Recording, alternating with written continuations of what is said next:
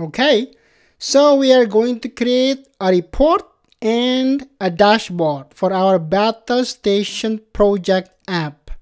Let's go ahead and do that. So I'm going to go to my Trailhead playground here. Click on the sandwich icon and search for reports and make a new one. New report. We are going to make a report. It's called battle station with supplies. All right? So that would be battle station with supplies. And go back here. So expand the other report yet we did that. Search for quantity unit cost and total cost and add add the column as columns one at a time. So quantity, unit cost, total cost. Quantity, you just click that and it's going to add unit cost and finally total cost. It's adding those three columns so you can see it there. So next up, we are going to group by battle station name. So add group on here, all right? But we are lacking records, so I'm to add group battle station name. We only have one record, but that's fine, okay? At least you can see how it's to look like.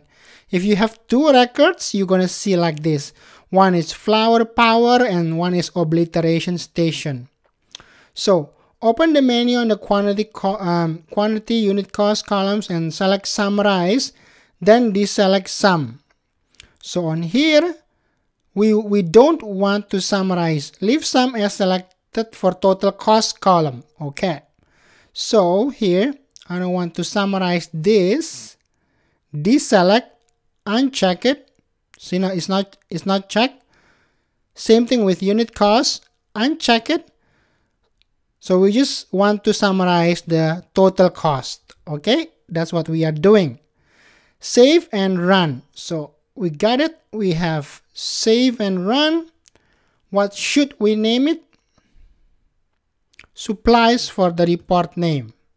So make sure you change that. Otherwise, when the challenge is being verified, it's not picking it up. Okay, so we got that. Now we are going to create a dashboard. All right, same thing. Go to your sandwich icon here and dashboard. There. Make a new dashboard. What should we name it? We should name it construction. I'm going to copy this. Private dashboard, that's fine. And then we are going to add a component with the supplies report vertical bar chart component. So add a component. Remember, we've gone through the really long videos on dashboards and reports. You should refer back to that on how how to build dashboards and reports. It's more and more in depth. So this is just for a project, right? For a refresher. So I'm going to choose the supplies here and select and then I'm going to go, go with vertical bar chart. What else do we need to do? Vertical bar chart and add the component and save and done. And that's it. We're done. And then this is vertical and I'm going to add this. And then I'm going to save this and hit done. There you have it. We just have one record, obliteration station and we can verify the step and we are pretty much done here. So next up is make the app mobile. Okay, I'll see you on the next video. Bada bing, bada boom. Hit that subscribe button and explore new trailhead grounds and learn to implement the most useful and popular apps on the Salesforce App Exchange. And do yourself a favor, like this video and you'll be surprised on how much more you understand when watching this same video after liking it. Don't take my word.